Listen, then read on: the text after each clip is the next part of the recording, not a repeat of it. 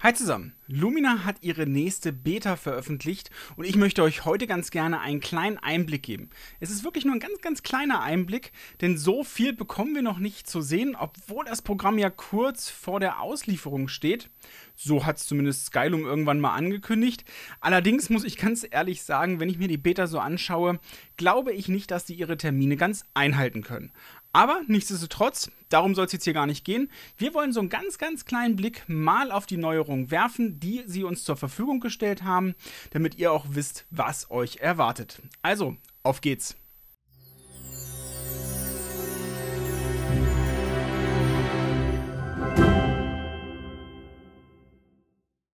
Okay, okay, okay. Bevor es losgeht, noch ganz kurz Hashtag Werbung.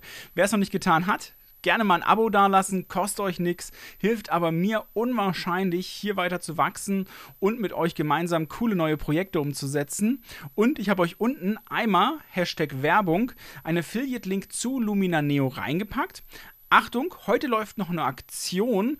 Da bekommt ihr Lumina Neo im Doppelpack mit Aurora HDR für gerade mal 49 Euro. Das Angebot finde ich sehr interessant, gerade für alle die, die vielleicht auch noch HDR-Aufnahmen entwickeln wollen. Lohnt es sich also auf jeden Fall unten mal reinzuschauen. Für alle anderen habe ich auch noch einen Gutscheincode unten verlinkt. Dann spart ihr auch noch ein paar Euro, wenn ihr diesen beim Kauf nutzt.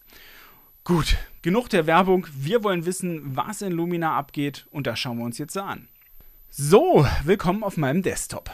Als allererstes schauen wir uns doch mal den neuen Katalog an.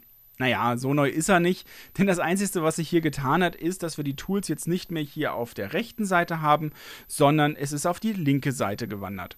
Ansonsten hat sich nicht so viel getan. Wir haben hier immer noch auf der linken Seite jetzt unsere Jahreszahlen, nachdem unsere Bilder geordnet sind. Wir haben hier oben alle Bilder und dann unten natürlich auch unsere Ordnerstrukturen. Dann können wir natürlich jederzeit Alben hinzufügen, Fotos hinzufügen oder auch nach Bildern suchen. Also alles nichts Neues. Ich habe ein bisschen gehofft, dass sie in Neo wieder die ähm, Funktion zum Vergeben von Sternen reinpacken. Leider ist es bisher noch nicht der Fall, aber wir können hier natürlich Favoriten vergeben und damit dann auch übergreifend in anderen Ordnern uns eine Favoritensammlung anlegen, wenn wir zum Beispiel Bilder aus verschiedenen Urlauben oder verschiedenen Ereignissen entwickeln wollen. Gut. Darum soll es jetzt hier aber gar nicht gehen, sondern ihr seid bestimmt schon gespannt, was uns das Entwickeln-Tool bereithält. Okay, ich würde sagen, wir öffnen uns mal ein Bild. Ich gehe mal hier hoch, schnapp mir zum Beispiel das Bild und sage Bearbeiten. Und ich wechsle mal wieder nach oben. Okay, das erste, was wir sehen, ist das wir nicht sehen. Denn es hat sich noch nicht wirklich viel getan. Ich habe eben schon gesagt, es ist nur eine ganz, ganz kleine Beta-Version, denn sie sind auf, mit Hochdruck am Arbeiten an der finalen Version.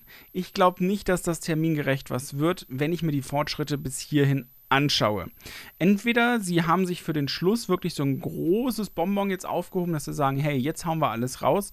Aber das, was ich hier jetzt im Moment sehe, ist im Endeffekt AI mit einer neuen Engine. Und das schauen wir uns jetzt mal ganz kurz an. Denn auf den zweiten Blick, wenn wir genauer hinschauen, fällt uns auf, dass wir hier oben neben unseren Werkzeugen jetzt einen Verlauf haben. Verläufe sind keine Verläufe, die von oben nach unten durchs Bild durchgehen, sondern unsere Bearbeitungen werden in sogenannten Verläufen gespeichert.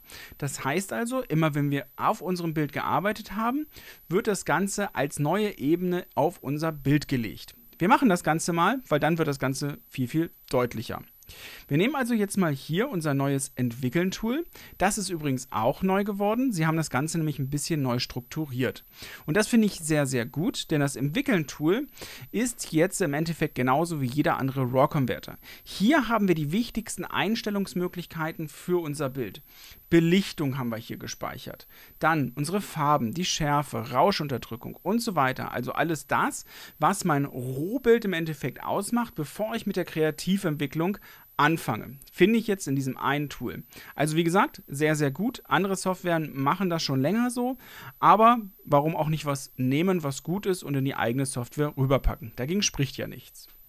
Gut, also ich mache jetzt mal hier folgendes. Ich ziehe jetzt mal die Belichtung ein bisschen runter, die intelligenten Kontraste hoch, die Schatten machen wir noch ein bisschen hoch, die Lichter gehen ein bisschen runter und so weiter.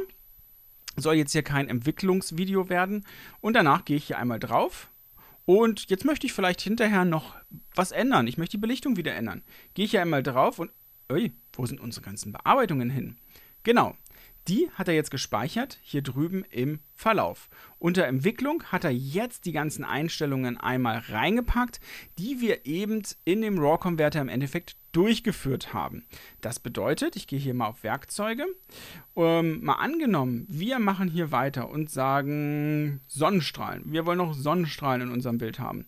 Nehmen das Ganze hier einmal rein, setzen das hier hoch, müssen natürlich noch die Menge angeben, so, Sagen wir mal, die hat hier gesessen. Das sieht doch schick aus.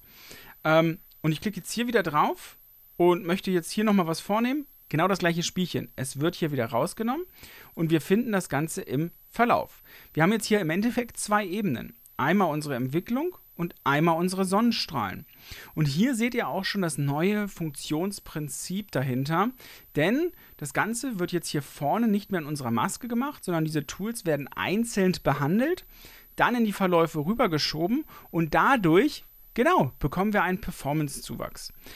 Ich muss ganz ehrlich sagen, ähm, Vorher lief es bei mir auch nicht wirklich schlecht. Ich habe jetzt das Gefühl gehabt, es läuft schon sehr, sehr flüssig durch. Und ich hoffe mal, dass sie durch diese Änderung jetzt einfach auch auf etwas geringeren Rechnern mehr Performance rausholen können.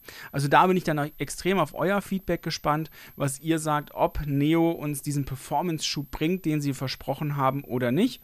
Ich für meinen Teil muss sagen, ich merke es zwar, aber es ist jetzt nicht so, dass es mich vom Sockel reißt, aber ich muss auch fairerweise sagen, Lumina AI lief bei mir nie wirklich schlecht. Das war anders zu Lumina 4 Zeiten. Das hat wirklich, also umso mehr Ebenen ihr draufgepackt habt, umso langsamer wurde wirklich euer Rechner. Das Ganze wurde sehr, sehr RAM-intensiv und da ist er relativ schnell in die Knie gegangen. Ich habe das jetzt hier mal ausprobiert, habe verschiedene Ebenen übereinander getan und muss sagen, bisher funktioniert das Ganze sehr, sehr gut. Allerdings kommt jetzt hier der nächste Nachteil, denn ich kann euch schon gar nicht viel mehr zeigen. Ich habe euch im letzten Video schon gezeigt, die neuen Funktionen, die dazugekommen sind, wie zum Beispiel hier das Neubelichten oder auch das Staubentfernen. Das ist hier natürlich jetzt auch wieder genauso mit drin, aber im Endeffekt war es das schon. Das heißt, was wir jetzt hier haben, ist ein neu geordnetes Entwicklungstool und unsere Verläufe, die uns anzeigen, mit welchen Ebenen wir gerade gearbeitet haben. Was ich ein bisschen nachteilig finde, und ich bin gespannt, wie die finale Version sein wird. Wenn ich jetzt wieder in Entwickeln-Tool reingehe und doch nochmal eine kleine Änderung vornehme, wie zum Beispiel die Kontraste oder die Lichter noch ein bisschen anzupassen, ich schließe mir das Ganze wieder wird mir das Ganze jetzt ja wieder hier als neue Ebene oben drauf gelegt. Das heißt, wenn ich jetzt nicht aufpasse und in die Verläufe rübergehe und schaue, ob ich da schon mal in dem Bereich eine Änderung vorgenommen habe, bekomme ich sehr, sehr viele Ebenen übereinander. Und dann gäbe es für mich zwei Möglichkeiten. Entweder Sie sagen, okay, ich kann das Ganze jetzt hier umbenennen und ich kann mit den Ebenen selbst arbeiten, wie ich es möchte. Dann kann ich auch mir das Ganze ein bisschen strukturierter darstellen. Oder Option 2, es wird sehr, sehr unübersichtlich. Denn ihr könnt euch schon vorstellen, wenn ihr das jetzt vier, fünf Mal gemacht habt mit der Entwicklung, werdet ihr irgendwann anfangen zu suchen, warte mal, ich habe doch irgendwo mal die intelligenten Kontraste ein bisschen hochgesetzt. Die waren mir aber zu hoch und ich will jetzt nicht eine neue Ebene drüber legen, weil das geht ja auf meine Pixel vom Bild. Ich möchte die gerne ändern. Und dann fangt ihr hier natürlich an zu suchen, wenn ihr in die Verläufe reingeht, wo ihr das gerade geändert habt. Also ich hoffe, Sie kommen darauf und werden hier uns die Möglichkeit geben, das Ganze umzubenennen. Ansonsten müsst ihr tierisch aufpassen, wenn ihr am Entwickeln seid, dass ihr, wenn ihr mit dem Tool schon mal gearbeitet habt, vielleicht macht man hier auch einen grünen Punkt hin, wenn man da schon drin gearbeitet hat, oder eine 1, 2, 3, wie oft man da drin schon gearbeitet hat. So als kleine Idee vielleicht. Dann wäre es halt einfach cool, da musst ihr aufpassen, ich klicke nicht drauf, sondern gehe hier drüben in meine Verläufe und ändere mir das dann hier in dem Bereich, wo ich das getan habe. Damit das dann, wie gesagt, nicht zu unstrukturiert und zu aufgebauscht wird, das Ganze. Ich hätte gehofft, dass wir uns hier gemeinsam auch noch die Ebenen angucken können. Wie kann ich neue Dinge reinbringen in Bilder, weil das Ganze soll ja schon ein bisschen angelehnter sein an Photoshop, weil im Moment haben wir nur ein verbessertes AI, ja, so könnte man es im Endeffekt nennen, was auf einer neuen Engine läuft. Das heißt, ich habe nicht mehr alle einzelnen Bearbeitungsschritte untereinander und das Programm muss auf alles gleichzeitig zugreifen, sondern ich nehme jetzt einzelne Stücke, packe sie auf eine Ebene und verlagere das Ganze. Und damit mache ich das Programm im Endeffekt nur schneller. Gut. Also, viel mehr gibt es leider nicht zu sehen. Wir haben momentan nur die Verläufe dazu bekommen und ein neues Entwicklungstool. Ich hoffe, die Entwickler geben jetzt richtig Gas, dass alle, die die vorbestellt haben, auch bald ihre Software bekommen.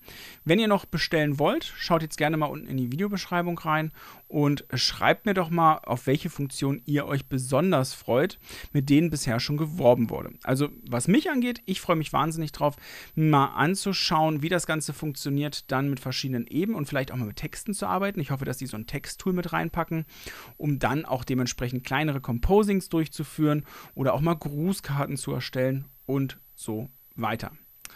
Gut, kurzes Video, nicht viele Änderungen. Nichtsdestotrotz halte ich euch natürlich hier auf dem Laufenden. Ich würde mich wahnsinnig freuen, wenn euch das Video gefallen hat. Kurzen Daumen nach oben und dann würde ich sagen, sehen wir uns im nächsten Video schon wieder. Bis dahin, ciao.